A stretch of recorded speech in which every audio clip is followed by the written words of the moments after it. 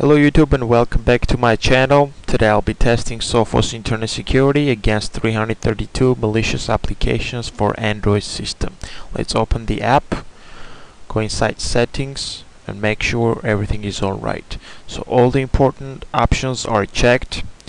Uh, the cloud scan mode is enabled and I do not see any update button so I think Sophos automatic automatically updates its own database. So let's go back to scanner. I already have the SD card inserted. I'm going to press the start button. I'll pause the video. I'll be back when the scan is complete. Okay YouTube, the scan is finally complete and it found a bunch of malware. I'm going to delete all of them one by one because it doesn't have a delete all button. And once I'm done deleting, I'll be back to show you the results.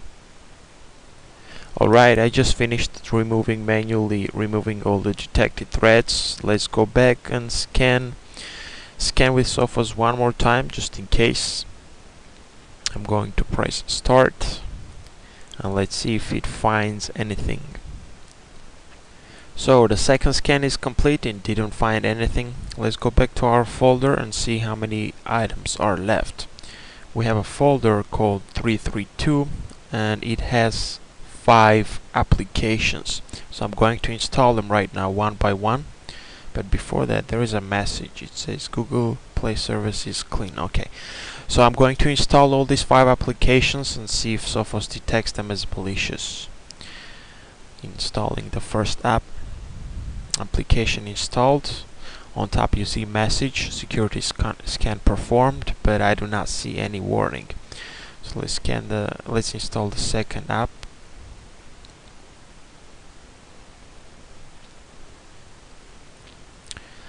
and the second application is installed as well. I'm not sure why you can't see on your screen. Okay here it is. Let's press done.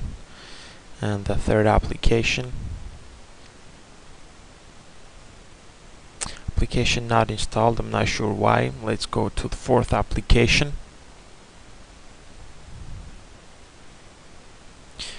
Done. The last application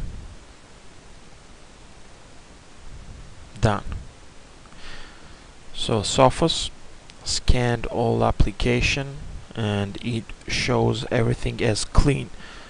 So that was the sorry that was the detection rate for Sophos. If you want to know how other antiviruses performed, you can click this link on the left side. Go to my channel, subscribe, and keeps yourself updated. Thanks for watching.